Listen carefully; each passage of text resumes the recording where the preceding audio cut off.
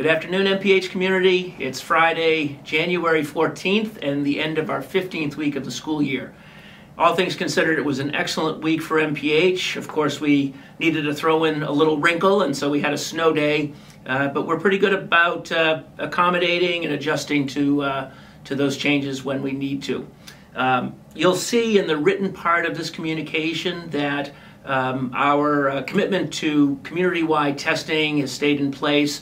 Uh, we processed uh, over uh, over 400 tests uh, this week. Uh, we've got the results back from Monday's testing, but we're still waiting on Wednesday, Thursday, and Fridays. so you'll you'll be um, you'll be given an update as soon as we know what the results of those tests are. And uh, again, thank you for being attentive to uh, a lot of communications coming out uh, from the school. Um, the, the one uh, change for next year is that we're going to return to our original policy with respect to distance learning and the use of the simulcast option.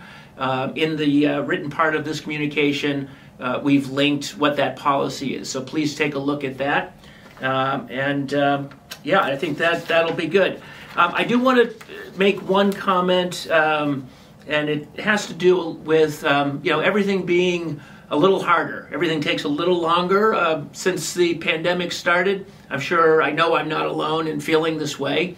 Uh, and um, had some time to, uh, to uh, communicate with my colleagues about the importance of self care and really encourage them to think about uh, setting reasonable and healthy standards or goals for themselves, and for all of us to manage expectations in a healthy and um, I think appropriate way.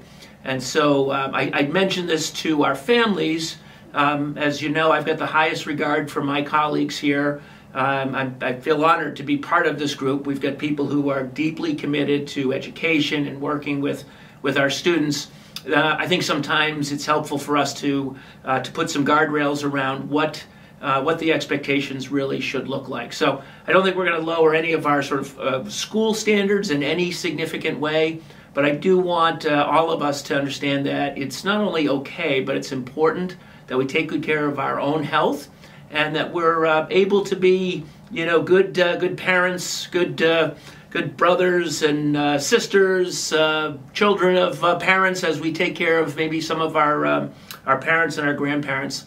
Uh, it's just something that, uh, again, I think MPH uh, has been really uh, pretty good in this area, and um, this is a good time just to remind us of the importance of uh, taking good care of ourselves first and foremost, so that we can be um, so we can be good in, in other ways. So, with that, um, I wish you a restful, healthy, and enjoyable long holiday weekend. I know the Bills and the Patriots are playing. I'm not going to tell you who I'm rooting for. Uh, but uh, anyway, I hope you stay warm as well. It's going to be a cold one. And I'll see you on Tuesday. Thanks.